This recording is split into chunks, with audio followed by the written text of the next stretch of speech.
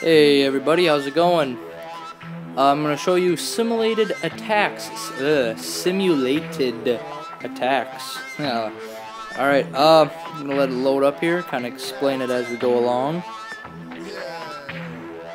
All right. Okay. This is a jailbroken device needed type thing majig.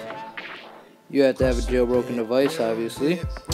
Um, for this, you're you pretty much place all your troops like you would in regular battle, same way you would. I just kind of doing this as an example. We use the worst guy on their team, but what this does, you don't get any of the loot, you don't lose any or gain any trophies.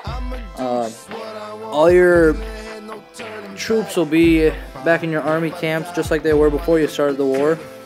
Uh, it will kick you out of the app after the battle's done.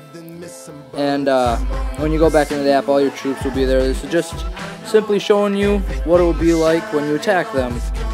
Uh, the hack is called iMod Game. You have to buy it for like about five bucks or something. You have to buy points for it in order to hack Clash Clans, anyways. So uh, yeah, go ahead and you can check that out on another channel. I'm not gonna do a video on that. So there you go. You can finish out the battle. Please comment, like, and subscribe. Thanks, everybody. Peace out.